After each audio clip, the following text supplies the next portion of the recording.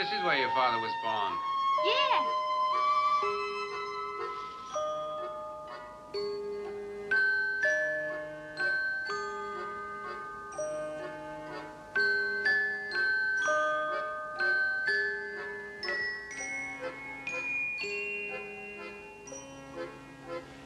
I think it's a shame in a way to pull these lovely old places down. They have so much, so much character.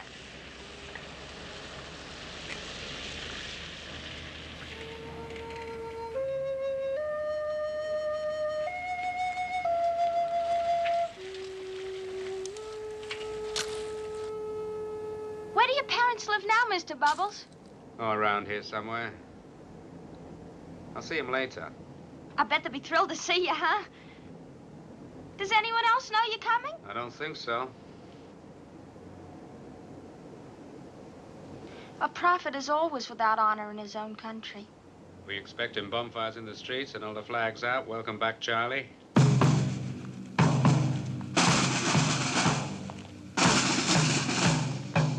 This is more like it. I knew they wouldn't let me down.